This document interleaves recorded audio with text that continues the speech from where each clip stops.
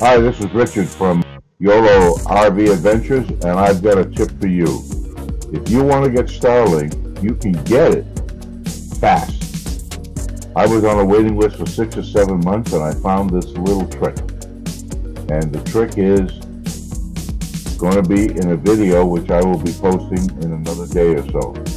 So if you want to hear about how to get your Starlink right away, I got mine in six days and I was in an out of service area. I'll show you how to do it. So subscribe to YOLO RV Adventures and hit that notification button and you'll have the trick. Guaranteed.